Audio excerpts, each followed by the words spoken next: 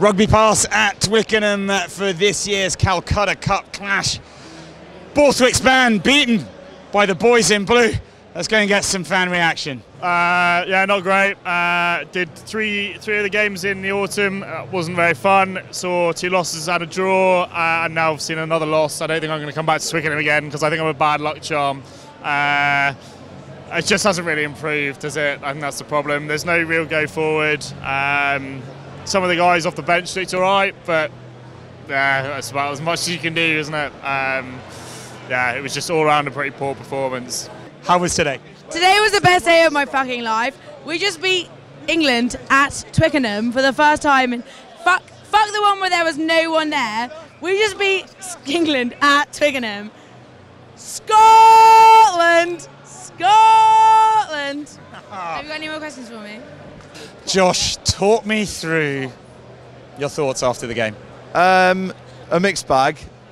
Um, I mean, like Scotland deserved to win. Let's have it out. Absolutely. Um, in defence, they're fantastic. I thought our set play could have been better.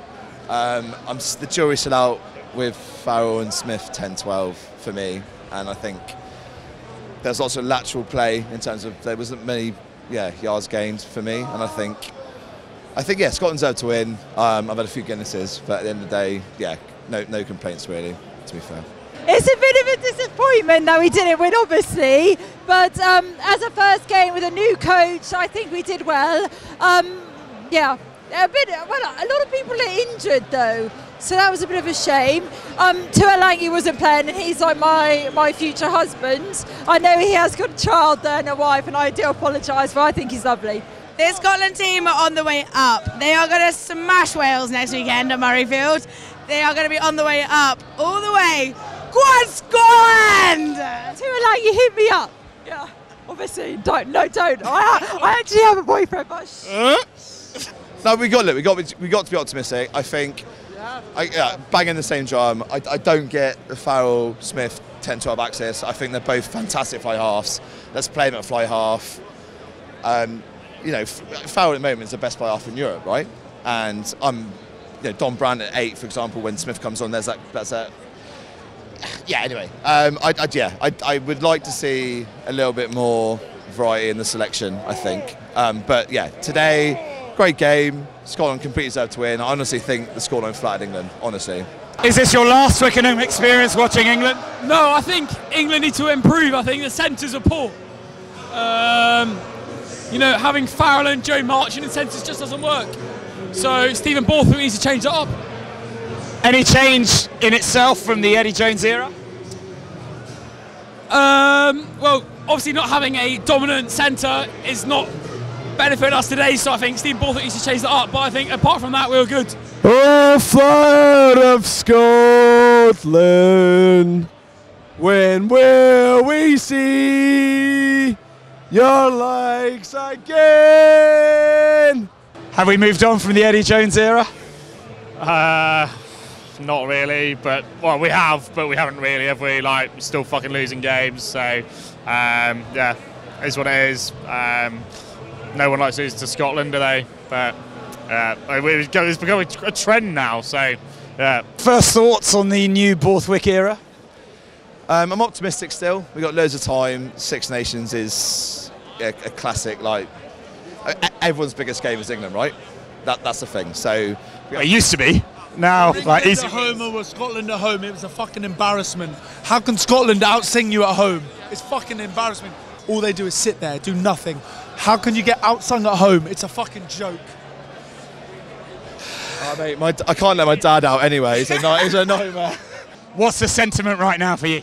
Delighted. Fucking delighted. Sorry for swearing, but Beep. Uh, yeah, absolutely delighted. I mean, we were the better team by far, by absolute miles better. So I'm here with a rather irate England fan. Talk me through that performance. The performance wasn't bad. First of all, Manu Tuilagi, why is he not playing? The, the worst thing about England today, it's been the same problem for the last fucking, sorry, for the last, out. for the last 10 years. You sit there and nobody screams anything. I sit there and I go, come on England! screaming for my country. Screaming, you paid so much money, and these these people sit there and they don't say anything. I got shouted at today by the people in front of me because I was screaming at them. Are you joking? I'm here to support my country, and people are going, "Can you quiet down, please?" Are you taking the piss?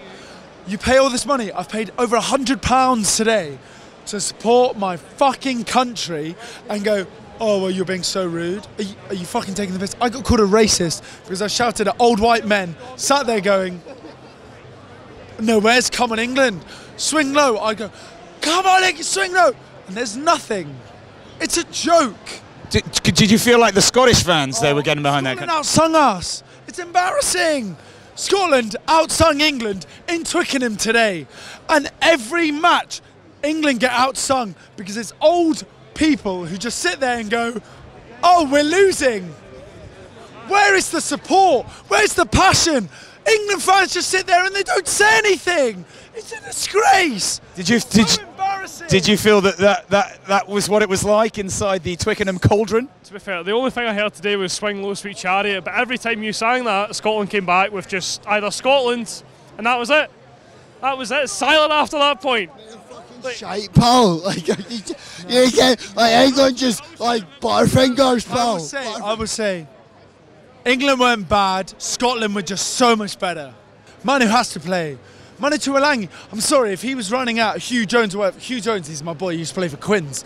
But if he's running at Huw Jones, he's steamrolling over him.